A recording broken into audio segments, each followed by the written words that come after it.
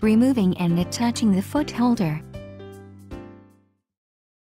When using the ruler work foot or dual feed holder, you need to replace the foot holder. Attaching the ruler work foot.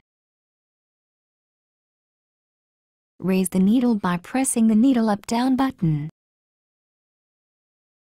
Press the lockout key. Raise the presser foot lifter.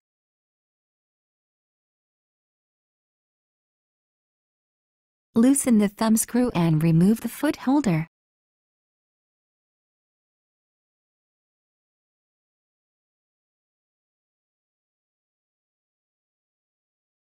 Attach the ruler work foot to the presser bar from behind. Tighten the thumb screw with your fingers.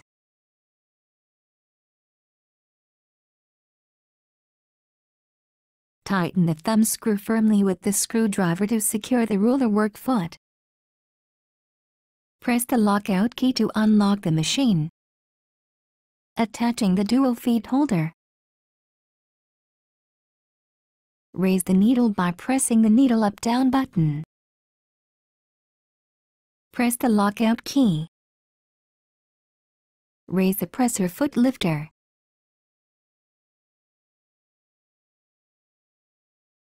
Loosen the thumb screw and remove the foot holder.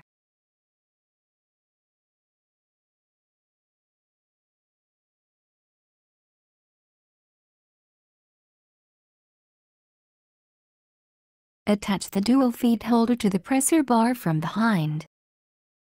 Tighten the thumb screw with your fingers.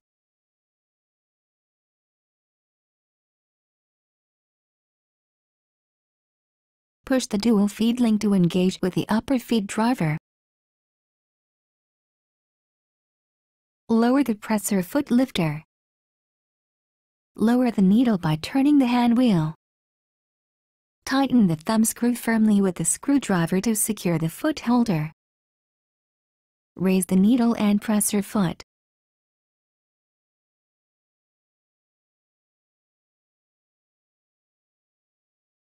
Press the lockout key to unlock the machine. Press the dual feed key. Check to make sure that the confirmation message appears. Be sure the proper foot holder is attached to the machine. Press the close key.